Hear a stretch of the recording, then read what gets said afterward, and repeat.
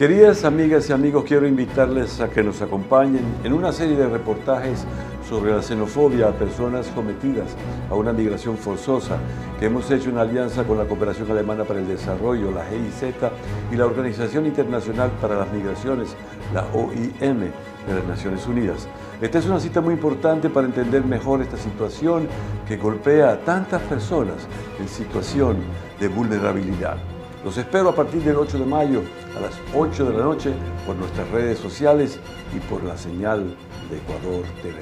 593 Ecuador con Christian Johnson los domingos a las 8 de la noche y su reprise los sábados a la misma hora por Ecuador TV.